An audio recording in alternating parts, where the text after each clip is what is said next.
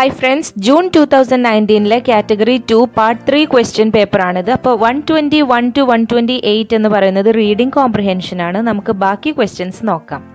Which of the following is not a feature of constructivism good relationship between instructor and learner guess work and intuitive thinking habit formation in learners collaboration among learners അപ്പോൾ option C നോക്കൂ habit formation in learners എന്നുള്ളത് ബിഹേവിയറിസത്തിന്റെ ഒരു തിയറിയാണ് so C will be our answer which is not a feature of constructivism Next question. Pick out the correct reported form from the options. Mini asked at what time do the banks close അപ്പോൾ നമുക്ക് ഈ question present ടെൻസിലാണെന്ന് കാണാം. Simple present tense ആണിത്. Do എന്നുള്ള ഫോമിലാണ് അപ്പോൾ നമ്മൾ അതിന്റെ ജസ്റ്റ് ഡിഡ് സിമ്പിൾ പ്രസന്റിനെ സിമ്പിൾ പാസ്റ്റ് ആക്കുകയാണ് വേണ്ടത്. അപ്പോൾ നമുക്ക് at what time did the banks close എന്നുള്ളത് അതിന്റെ ക്വസ്റ്റ്യൻ രൂപമായിരിക്കും. നമ്മൾ റിപ്പോർട്ട് ചെയ്യുമ്പം at what time the banks closed did ആ ക്ലോസിന്റെ കൂടെ ചേർത്തിട്ട് at what time the banks closed എന്നാക്കിയിട്ടാണ് നമ്മൾ റിപ്പോർട്ട് ചെയ്യുന്നത്. So our option D will be the correct answer Mini wanted to know at what time the banks closed മറ്റ് options നോക്കുകയാണെങ്കിലും നമുക്ക് മനസ്സിലാവും. വിൽ ക്ലോസ് എന്നുള്ളത് ഫ്യൂച്ചർ ടെൻസ് ആണ്. Are closed എന്നുള്ളത് passive voice ആക്കിയെന്നേ ഉള്ളൂ. അപ്പോഴും അത് പ്രസന്റ് ടെൻസ് തന്നെയാണ്. ഇനി വിൽ ബി ക്ലോസിങ് എന്നുള്ളത് ഫ്യൂച്ചർ കണ്ടിന്യൂസ് ആണ്. അപ്പോൾ ഇതൊന്നും വരില്ല. സിമ്പിൾ പ്രസന്റ് എന്നുള്ളത് സിമ്പിൾ പാസ്റ്റായി മാത്രമേ മാറുന്നുള്ളൂ. അപ്പോൾ നമ്മൾ ഡിഡിനെ സെപ്പറേറ്റ് ചെയ്യാതെ ക്ലോസ്ഡ് എന്നാക്കിയിട്ടാണ് റിപ്പോർട്ട് ചെയ്യുമ്പോൾ വരുന്നത്. ഈ ഒരു എക്സ്ട്രാ ഓപ്ഷൻ ഇവിടെ കാണിക്കാൻ കാരണം ചിലപ്പോൾ ഇതും ഓപ്ഷനിൽ വരാൻ സാധ്യതയുണ്ട്. അപ്പോൾ അത് തെറ്റാണെന്ന് മനസ്സിലാക്കുക. ക്വസ്റ്റ്യൻ വേർഡ് കഴിഞ്ഞു ഓക്സിലറി പിന്നെ സബ്ജക്റ്റ് അങ്ങനെ വരുന്നത് ക്വസ്റ്റ്യൻസിലായിരിക്കും അല്ലാണ്ട് റിപ്പോർട്ടഡ് സ്പീച്ചിൽ അങ്ങനെ വരില്ല. അടുത്തത് ഒരു ഫ്രേസൽ വേർബ് വെച്ചിട്ടുള്ള ക്വസ്റ്റ്യൻ ആണ്. I would like to call dash my friend while I'm in London here the correct option is call on call on എന്ന് വെച്ചാൽ visit a person call off എന്ന് വെച്ചാൽ cancel call for means demand call out means cry next question pick out an expression of gratitude അതായത് നന്ദി സൂചകമായി പറയുന്ന ഒരു expression select ചെയ്യാനാണ്.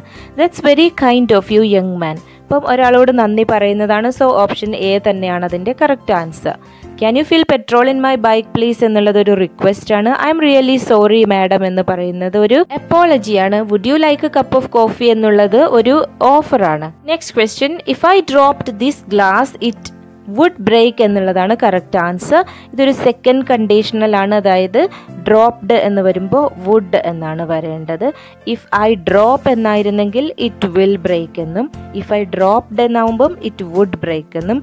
ഇഫ് ഐ ഹാഡ് ഡ്രോപ്ഡ് എന്നാണെങ്കിൽ ഇറ്റ് വുഡ് ഹാവ് ബ്രോക്കൺ എന്നുമാണ് വരേണ്ടത്. അപ്പോൾ ഇവിടെ സെക്കൻഡ് കണ്ടീഷണൽ ആയിട്ടുള്ള സിമ്പിൾ പാസ്റ്റ് വന്നതുകൊണ്ടാണ് നമ്മൾ വുഡ് ബ്രേക്ക് എന്ന് യൂസ് ചെയ്തത്. Next question which of the following is a content word content word എന്നുകൊണ്ട് ഉദ്ദേശിക്കുന്നത് നൗൺസ് അതുപോലെ അജക്റ്റീവ്സ് മെയിൻ ആയിട്ടുള്ള വേർഡ്സ് ആഡ് വേർബ്സ് ഇതിനൊക്കെയാണ് നമ്മൾ കണ്ടന്റ് വേർഡ് എന്ന് പറയുന്നത്. ബാക്കിയുള്ള prepositions articles determiners question words അല്ലെങ്കിൽ മോഡൽ ഓക്സിലറീസ് അങ്ങനെയുള്ള എല്ലാം വരുന്നത് സ്ട്രക്ചറൽ വേർഡ്സ് അല്ലെങ്കിൽ ഫങ്ഷൻ വേർഡ്സ് എന്ന് പറയുന്ന കാറ്റഗറിയിലാണ് അപ്പോൾ നമുക്കിവിടെ അറിയാം where is a question word behind and about are prepositions and sound is a noun so our answer is a noun sound അപ്പോൾ nouns adjectives main verbs and adverbs ആണ് content words ആയിട്ട് വരുന്നത്.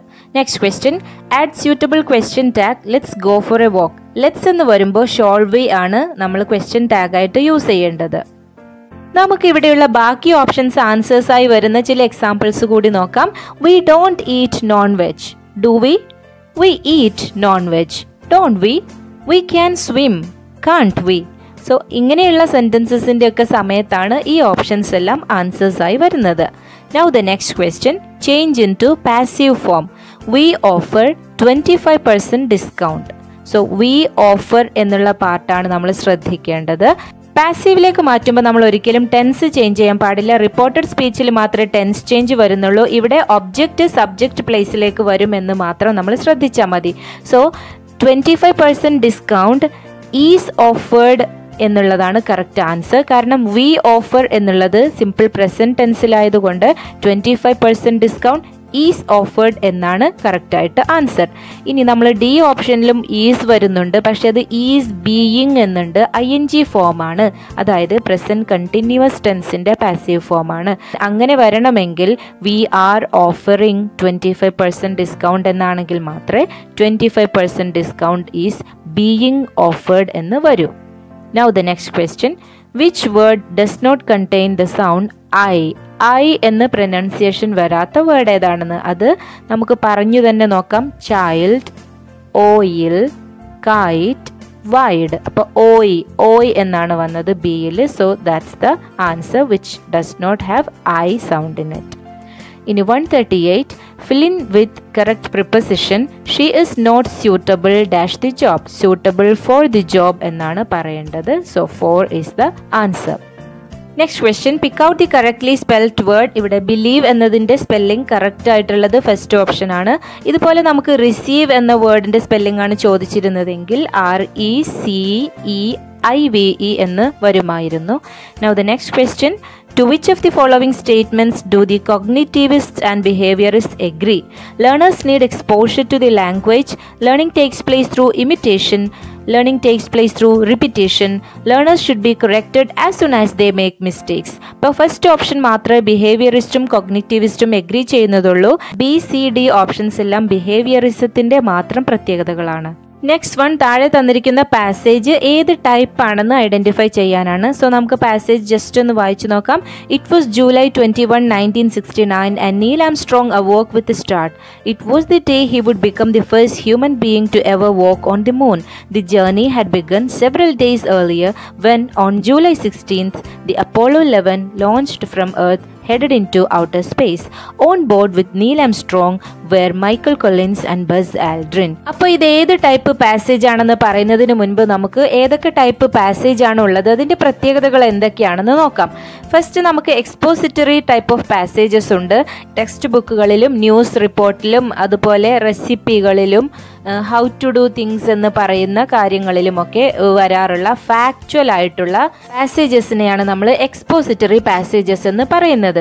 പിന്നെ ഒരു ടൈപ്പ് ഉണ്ട് persuasive എന്ന് പറയുന്നത്. ഇതിൽ എഴുതിയ ആളുടെ ഒരു ഒപ്പീനിയൻ റിഫ്ലക്റ്റ് ചെയ്ത് കാണാറുണ്ട്.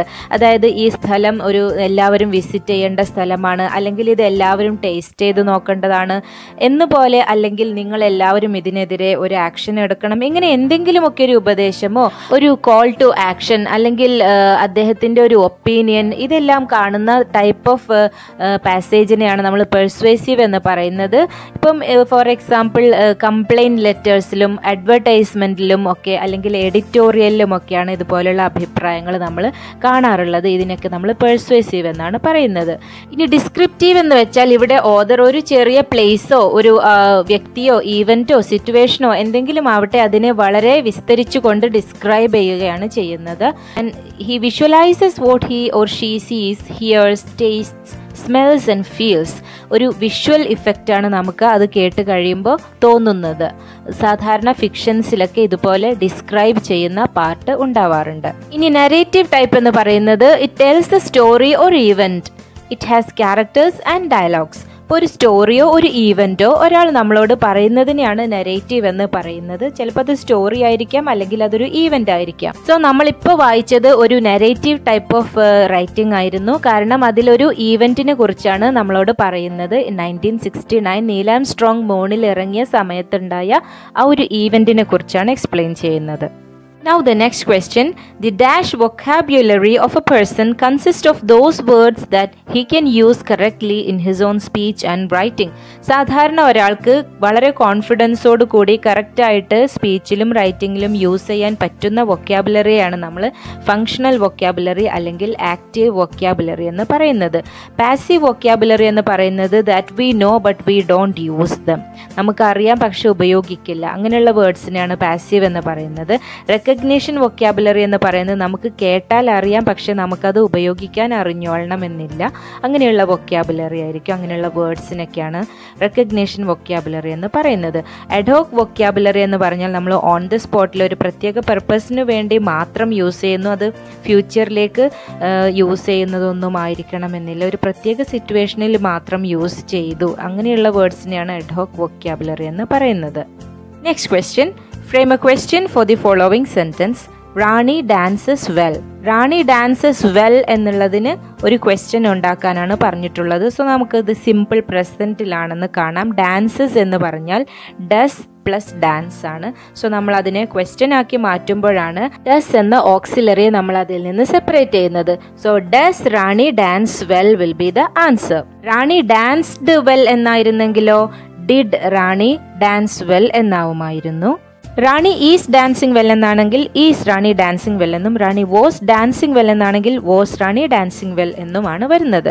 Next question which part of the following sentence is incorrect Jayan is older than I was so നമുക്ക് നോക്കിയാൽ തന്നെ അറിയാം ജയൻ ഈസ് എന്നാണ് ഐ വാസ് എന്നാണ്. അവിടെയും തന്നെ ഒരു മിസ്റ്റേക്ക് ഉണ്ട്. Jayan is older than me എന്നാണ് വരേണ്ടിയിരുന്നത്. സോ ഡി പാർട്ടാണ് ഇവിടെ റോങ് ഇവിടെ ഓർത്തിരിക്കേണ്ട മറ്റൊരു കാര്യമാണ്. ഓൾഡറിന് ശേഷം എപ്പോഴും ദാൻ എന്നാണ് വരുന്നത്. നേരെ മറിച്ച് എൽഡർ ആണ് തന്നിട്ടുള്ളതെങ്കിൽ എൽഡർ ടു ആണ് കറക്റ്റായിട്ട് വരേണ്ട preposition for example Jayan's elder to me Now the next question, find out the correct phrasal verb. Tell him to dash his cigar before he stinks out the whole room. അതായത് cigarette കെടുത്താനാണ് ആവശ്യപ്പെടുന്നത്. So put out he cigar എന്നുള്ളതാണ് correct option put out എന്ന് വെച്ചാൽ extinguish കെടുത്തുക എന്നൊക്കെയാണ് അർത്ഥം. Put off means to postpone put in means to make effort for a purpose and put away means to keep something in its appropriate place examples the committee has decided to put off their meeting due to bad weather, the manager asked his employees to put in their effort for the new project. She put away the remaining food items in the fridge. Next question, which is not a technique for teaching the meaning of new words. Mother tongue equivalent, dictation, use in context definitions and explanations so mother tongue equivalence നമ്മൾ meaning പറഞ്ഞു കൊടുക്കുമ്പോൾ പറഞ്ഞു കൊടുക്കാറുണ്ട്. Use in context സന്ദർഭമായിട്ട് ഉപയോഗിച്ചും പറയാറുണ്ട്. ഡെഫിനിഷൻസും എക്സ്പ്ലനേഷൻസും എല്ലാം കൊടുക്കാറുണ്ട്. എന്നാൽ ഡിക്റ്റേഷൻ എന്ന് പറയുന്നത് സ്പെല്ലിംഗ് പഠിക്കാനേ ഉപകരിക്കും അല്ലാതെ മീനിങ് പഠിക്കാൻ യൂസ്ഫുൾ അല്ല. So that will be our answer next question structural words include nouns verbs prepositions adjectives അപ്പോൾ നമ്മൾ നേരത്തെ പറഞ്ഞു നൗൺസ് വേർബ്സ് ആജക്റ്റീവ്സ് ആഡ്വേർബ്സ് ഇവയെല്ലാം കണ്ടന്റ് വേർഡ്സ് ആണെന്ന്. അപ്പോൾ പ്രിപ്പോസിഷൻസ് എന്ന് പറയുന്നതാണ് സ്ട്രക്ചറൽ വേർഡ്സിൽ വരുന്നത്. പ്രിപ്പോസിഷൻസ് മാത്രമല്ല ആർട്ടിക്കിൾസ് വരുന്നുണ്ട്. ക്വസ്റ്റ്യൻ വേർഡ്സ് വരുന്നുണ്ട് ഓക്സിലറി വേർഡ്സ് വരുന്നുണ്ട്. ഇവയെല്ലാം സ്ട്രക്ചറൽ അല്ലെങ്കിൽ ഫങ്ഷണൽ വേർഡ്സ് എന്നാണ് അറിയപ്പെടുന്നത്. Next question which is a required step in teaching an extensive reader extensive reading എന്നതുകൊണ്ട് ഉദ്ദേശിക്കുന്നത് റീഡിംഗ് ഫോർ പ്ലഷർ എന്നാണ്. അതായത് വളരെ വൈഡായിട്ട് വായിക്കുന്ന ആസ്വദിച്ച് വായിക്കുന്നതിനെയാണ് നമ്മൾ എക്സ്റ്റെൻസീവ് റീഡിംഗ് എന്നതുകൊണ്ട് ഉദ്ദേശിക്കുന്നത്. So explanation of word meanings thoroughly silent reading by the students copying from the text reading aloud by the teacher so ഇവിടെ എക്സ്റ്റെൻസീവ് റീഡേഴ്സിനെ നമ്മൾ പ്രൊമോട്ട് ചെയ്യാൻ വേണ്ടിയിട്ട് silent reading by the students എന്നുള്ള കാര്യമാണ് ചെയ്യേണ്ടത്. സൈലന്റ് റീഡിങ്ങിന്റെ സമയത്താണ് എക്സ്റ്റെൻസീവ് റീഡേഴ്സിന് സെൽഫായിട്ട് വായിച്ച് എൻജോയ് ചെയ്യാനുള്ള ഒരു ഫെസിലിറ്റി ലഭിക്കുന്നത്. Next question which is not a strategy of humanistic approach open seminars emotional support authoritative teaching cooperative learning so authoritative teaching എന്ന് പറയുന്നത് ഒരു ഹ്യൂമനിസ്റ്റിക് അപ്രോച്ചിന് ചേരുന്നതല്ല. ഹ്യൂമനിസ്റ്റിക് അപ്രോച്ചിൽ ഒരു അതോറിറ്റേറ്റീവ് ടീച്ചിങ് എന്നതിനപ്പുറം സെൽഫ് മോട്ടിവേറ്റഡ് ആയിക്കൊണ്ട് സ്വയം പഠിക്കാനുള്ള ഒരു താല്പര്യം ഉണ്ടാക്കുകയാണ് ചെയ്യുന്നത് അതിനുവേണ്ടി സ്റ്റുഡൻസിന് open seminars emotional support cooperative learning facilities ഇതെല്ലാം കൊടുക്കാറുണ്ട്. ഇമോഷണൽ സപ്പോർട്ട് എന്നുള്ളത് ഹ്യൂമനിസ്റ്റിക് അപ്രോച്ചിന്റെ ഏറ്റവും ഇമ്പോർട്ടന്റ് ആയിട്ടുള്ള ഒരു പാട്ടാണ്. Now the last question, the monitor theory was put forward by. Here the right option is Stephen Krashen. നമ്മൾ പഠിച്ചിട്ടുണ്ട് Stephen Krashen's theory of second language acquisition നമ്മൾ മുൻപൊരു വീഡിയോയിലും പറഞ്ഞതാണ് ഇതിൽ പ്രധാനമായിട്ടുള്ള ഫൈവ് ഹൈപ്പോത്തസിസ് ആണുള്ളത് acquisition learning hypothesis the monitor hypothesis the input hypothesis the effective filter hypothesis and the natural order hypothesis sir answer is Stephen Krashen I hope this session was helpful. Thank you for watching and keep learning.